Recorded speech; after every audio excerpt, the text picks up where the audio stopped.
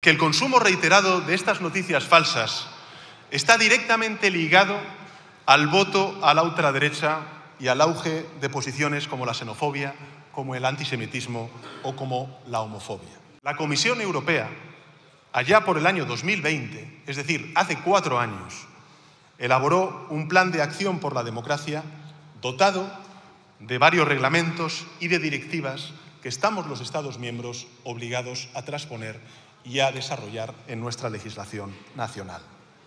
La propia Comisión Europea nos ha pedido a los Estados miembros, a ustedes, a las Cortes Generales, también a los gobiernos europeos, que tomemos medidas para proteger la libertad, la transparencia, el pluralismo de los medios de comunicación, mediante la lucha contra la desinformación, la injerencia extranjera y los discursos de odio. Y por eso les anuncio que en las próximas semanas, los próximos días, el Gobierno de Coalición Progresista iniciará una ronda de contactos con todos ustedes, con los grupos parlamentarios eh, de las Cortes Generales, para proponerles un plan de acción que nos ayude a proteger y a fortalecer nuestra democracia. Se resume en la siguiente idea.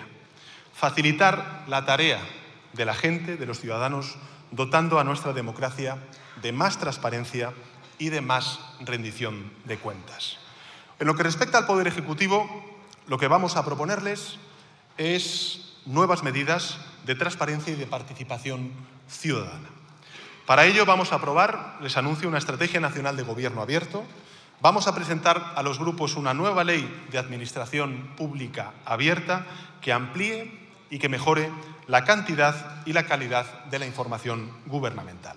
Los ciudadanos, las ciudadanas, deben conocer las fuentes de financiación de los medios de comunicación el nombre de sus accionistas y las cifras de audiencia de forma honesta, para evitar fraudes en la inversión publicitaria por parte de gobiernos de nuestra democracia, mediante el uso, por ejemplo, de bots o de clickbaits y también, lógicamente, la injerencia de actores extranjeros.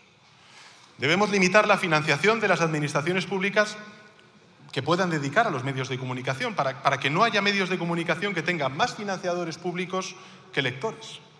Y asegurar que no haya partidos políticos que compren líneas editoriales con el dinero de todos los contribuyentes.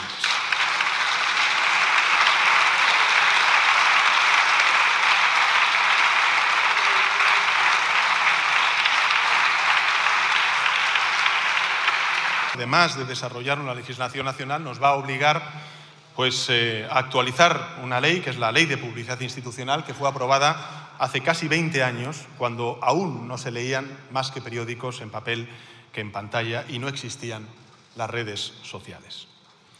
Junto con la transparencia, la independencia. Eso nos mandata también, señorías, el reglamento europeo. ¿Independencia para qué? Bueno, pues independencia para proteger la línea editorial, los derechos de los periodistas, de los profesionales de los medios de comunicación, para evitar las presiones del ámbito político, también empresarial, sobre los profesionales de esos medios de comunicación, para que, en fin, no sé quién se va a dar por aludido, pero, en fin, que no haya jefes de gabinete de presidentes autonómicos que amenazan abiertamente e impunemente a aquellos que no repiten sus consignas.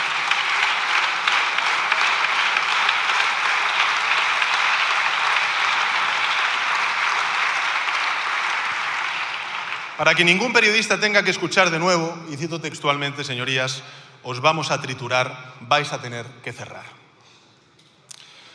Junto con la independencia y la transparencia, señorías, mecanismos de defensa del pluralismo y la competencia para evitar la concentración de medios de comunicación en, en pocas manos.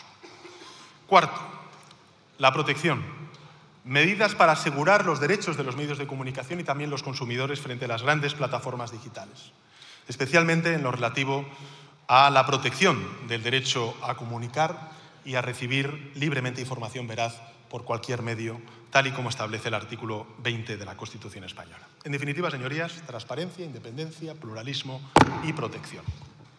Y finalmente, para garantizar la supervisión y el cumplimiento de todas estas medidas que nos mandata Bruselas, y en línea con lo que establece, por tanto, el propio reglamento europeo, propondremos ampliar las funciones y las capacidades de la CNMC, de la Comisión Nacional de los mercados de la competencia. Y por último, vamos a proponer una nueva reforma de la ley Mordaza, a ver si lo logramos en este mandato, en lo relativo a la libertad de expresión, en coherencia de nuevo con la Constitución española.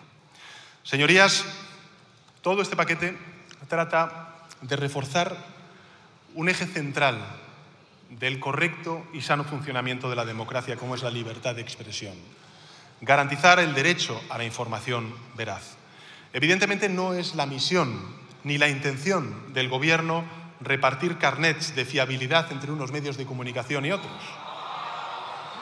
No creo, no creo que ninguna de las familias políticas que aprobamos esto en Bruselas y en Estrasburgo pues eh, tuvieran esa misma intención.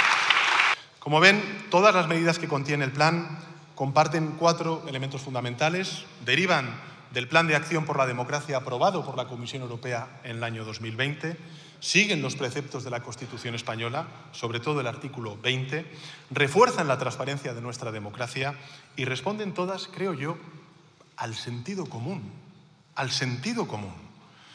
Y yo creo que esto es una buena noticia. Es una buena noticia para todos salvo para quienes han convertido la mentira en un negocio rentable. Por eso creo que ha llegado la hora de que, de que las Cortes Generales se planteen reformar los reglamentos del Congreso y, y del Senado, por ejemplo, para algo tan de sentido común como endurecer las sanciones a aquellos diputados y senadores que no presenten su declaración de bienes y de actividades.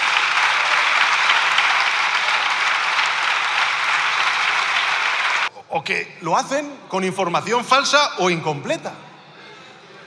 No hacerlo creo que sería incoherente con el nuevo código de conducta de las Cortes y dificultaría pues, el seguimiento del, nuevo delito de enriquecimiento ilícito que aprobamos en las Cortes Generales.